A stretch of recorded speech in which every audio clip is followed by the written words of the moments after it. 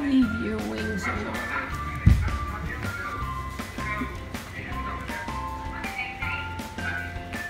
You're all messed up.